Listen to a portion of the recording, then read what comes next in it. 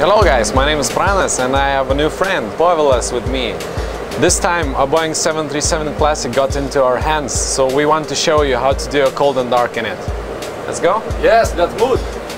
I don't know about Povilas, but I would like some light. So to do that, I'll check eight items. First of all, battery on. We check that the standby power switch is guarded, the alternate flaps guarded, that the windshield wiper is off, electric hydraulic pumps off, then landing gear down and three greens, the weather radar is off, and the parking brake is set. Having checked that, we can see that the ground power is available and we can set that to on. Okay, as we have the ground power on, we can set all the lighting. Put the panel light on full. Povilas will set his lights. Now I'll set the panel light on the right hand side and the flood and panel lights on the lower pedestal. Usually we will find our displays not showing anything, so we would need to set them with a few knobs situated here. But ours are actually set in advance, so we do not need to do that. Now we will check the fire and overheat protections panel. We will first test the inoperative test. We see fault lights, APU detection inoperative lights, and overheat and detection here. We can cancel it and re release the test. Now we will do the overheat and fire test. I put the selector to the right. We hear the bell. We cancel it and check for the lights. We have seen that we have fire warning lights, master cautions, overheat detection. We have three lights for engines and APU, wheel well fire, and engine 1 and 2 overheat. Now I check the test again to see if my bell cutout switch on this panel works. Again. And we again check for all the lights. They're there. Only one thing to notice, if we didn't have the AC power on, we wouldn't have this wheel well fire light. Last thing to do on the panel is to check the fire extinguisher circuits. We check circuit 1, we've got three lights for two engines and APU, and we check circuit 2. The same, three lights. Next thing we do is select the IRSs, our inertial reference systems, to nav position. We put the left one on DC light, the right one on DC light, and we have a line left on the left and a line on the right. The only thing to do now is check the status and we see that we have seven minutes until the alignment completes. Okay, we have the IRSs on the line. We can start the overhead scan. We start with checking evacuation on armed, that we have the flight control, spoilers and alternate flaps guarded. These lights are okay. We check that the yaw damper is on, that we have all the instrument transfer switches to normal, we have fuel valves closed, crossfeed closed, and now we select the left aft pump for the operation of our APU, which we can start now. Put it to on and to start for 3 seconds. Okay, the APU is now starting. We can continue with the overhead scan. We check that the galley power is on, standby power is closed, generator drive disconnects are closed, and as we do that, our APU has been started. We have this light illuminating here. So we can start generator 1 on bus, generator 2 on bus. We continue with the center panel. We have the equipment coolings on normal, emergency exit lights armed, no smoking on, fasten belts on, wipers off again. We go forward to window heat. We select window heat to on. all four lights are illuminating. These should be illuminating as well and this is okay. We leave it at off. Then we continue. For now we can leave the electrical pumps off, engine pumps on standby. We check that the pressure differential is approximately zero. The cabin altitude is okay and cabin isn't climbing or descending. We continue here. We check that the recirculation fan is on auto. We have left pack auto, isolation valve auto, right pack off. We have the engine bleeds set on on and as we have running have been running the APU for more than a minute, we can select the APU bleed to on as well. And we can see an immediate rise in the pressure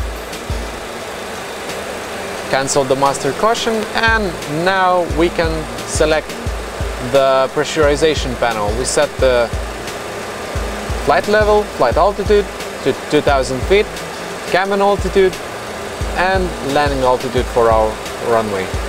We check that the switch is on ground and that this knob is in auto position. This means that the pressurization is in auto position. And we check the sixth panel, everything seems okay. The only thing we have to do is select the position light to on. Now the overhead scan is complete. I will do just a few items on the mode control panel here. I will check that the flight director is on, his side is on main, and we have courses of 079 and 079. Okay, now we will do a flight instrument check.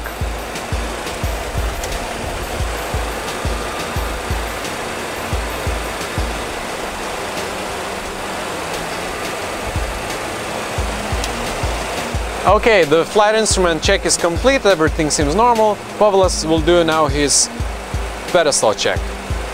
He'll check that the speed brake is down detent. He will check that there is no light.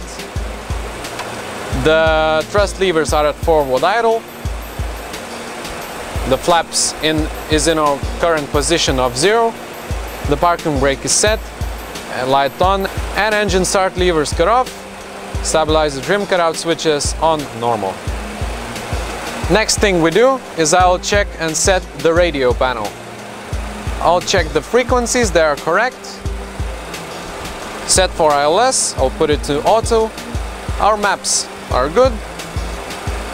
These one are set with radio on VHF. Okay. Transponder 2000 on standby. Trims are okay. My radios are set maps are good and everything is now set. Okay, so it is our time to set flight management computer now and I will begin with the initial data on ident page. Okay, this is our very first page and first of all we have to verify that this is our correct model 737-500, yes, and engine rating is also correct. Then we have to notice that navigation data is correct and active. Okay, let's move to POS INIT page now. And now our present airport is London Gatwick, so I will insert Echo Golf Kilo Kilo. And we have to also verify that our time matches with the captain's clock, so it's correct. Let's move to route page now. We, I will copy the London Gatwick here and uh, our destination airport will be also London Gatwick. We will make just a circuit. I will go to departure route now and we'll select it. I will select runway 26 left and then I will select uh, arrival that will be also 26 left ILS I will return to route and I will activate it and execute. I will also check our legs page because it is important that legs page matches with the route page. Okay. Then I will go to our performance init page and we'll set our zero fuel weight 45 tons and we have to be sure that zero fuel weight, fuel and gross weight with the center of gravity matches with the values on our loading documents. I will insert, let's say, 1.9 fuel and cost index of 40. I will insert 2000 feet for our cruising altitude and will execute it. Then I will go to takeoff page. We'll set temperature of 15 Celsius by degrees. And as you can see, our flap setting will be 5 and the gross weight is correct. The computer has also calculated our V-speeds. That means our V1 will be 135, V2 144 and we will rotate at 137 knots. We can also go to next page and we can derate our thrust during takeoff, but maybe next time. So with this page, we have just finished our flight management computer preparation operation. So we have just finished our job with the flight management computer that is actually very nerdy and now we can proceed to mode control panel. So this is our mode control panel and now I will set our auto thrust to arm position. I will set our V2 that is 145. I will also set runway heading for departure that will be 100 correction 259 and our initial climb 2000 feet. I will also set our course of 259er and on my colleague side too. Set, that's it. Okay, the pre-flight procedure has been completed. We can now start the necessary checklist. Pre-flight checklist. Pre-flight checklist. Oxygen. Test. Tested at 100. Instrument transfer switches are on normal. Window heat is on. Pressurization mode selector is auto. Flight instruments. Check. Heading 348. 200 feet at QNH 1005 and 200 feet at 1005. QNH 1005, 200 feet and heading 348 checked. Heading 259er and initial altitude 2000 feet. Heading 259er, altitude 2000. Parking brake. Set. Red light. Engine start levers. Cut off. And gear pins. Checked. The pre-flight checklist has been completed. So let's do the before engine start procedure. Absolutely. We will select the fuel pumps to on. The electrical hydraulic pumps to on. Left pack to off. We verify that we have 40 psi for engine start. And we select the anti-collision light to on. And now we can do the before start checklist. Before start checklist, please. Before start checklist. Flight deck doors closed and locked. Fuel. Checked. 9 tons pumps on. Checked. Passenger signs are on. Anti-collision light is on. Windows. Locked. Locked. MCP. V2 145, heading 259er and altitude 2000 feet. That is checked. Takeoff speeds. V1 135 and rotated 137. V1 135, rotate 137, and again V2 145. Checked. CDU pre-flight. Completed. Completed. Rudder and aileron trims. They are free and zero. Taxi and takeoff briefing is completed, I believe. And mobile phones. Off. I don't have it. Off. Mine is off. Before start, checklist is complete. Now we are ready for push and start. We will ask for pushback and comment it. Ask for pushback, please.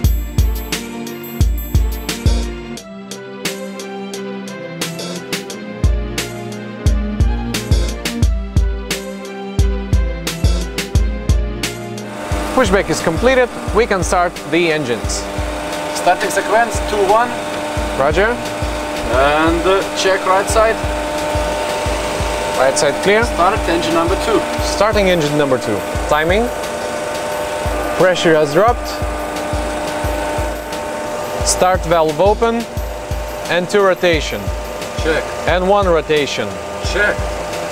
Oil pressure is rising.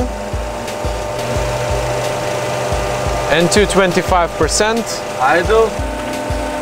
Timing. EGT fuel flow. Check. N2 46. Start valve closed and start sequence cut out. Okay, the same start procedure for the left engine. Start engine number one. Starting engine number one. Timing. Pressure has fallen. N2 is rising. Start valve open. N2, 25%. N1 rising. Idle. And idle. Fuel flow. EGT rising. Check. Starter cut out. Start valve closed. And engine stable. Check. Engine stable. Flaps five, please. Flaps 5. I will check that we have no unnecessary lights. I'll check the gen- generator 1, generator 2. They look okay. And I'll put them on bus. Generator 1 on bus, generator 2 on bus. I'll continue with the panel scan. Pitot heat on. Engine anti-ice will be off because the current temperature is 15 degrees above Celsius. Everything looks good. And now, right pack auto, APU bleed off, left pack auto, and the ground switch goes to flight. The only thing was left is the APU. I will now select it to off. APU is shutting down. Before taxi checklist. Before taxi checklist, generators. On, pitot heat is on, anti-ice. Off, isolation valves. Auto, engine start switches. Continuous, recall. Checked, auto brakes RTO, engine start levers, Check. Idle. flight controls, Clear. and ground equipment is clear on the right. Before taxi checklist complete, we are ready for taxi. Yes, we're ready to taxi now. Okay, we are ready for taxi. I'll ask for clearance and we'll commence it. Uh, ground uh, Baltic Aviation Academy 1 requesting taxi clearance runway 26 left.